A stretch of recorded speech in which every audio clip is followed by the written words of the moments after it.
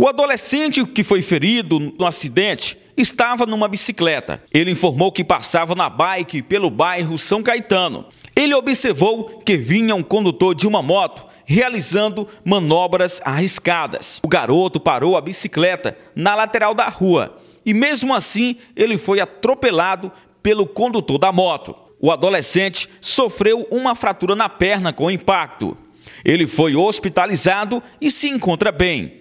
A polícia atendeu a ocorrência. Os PMs perceberam que o condutor da moto aparentava ter ingerido bebida alcoólica e ele foi apresentado na delegacia de Balsas.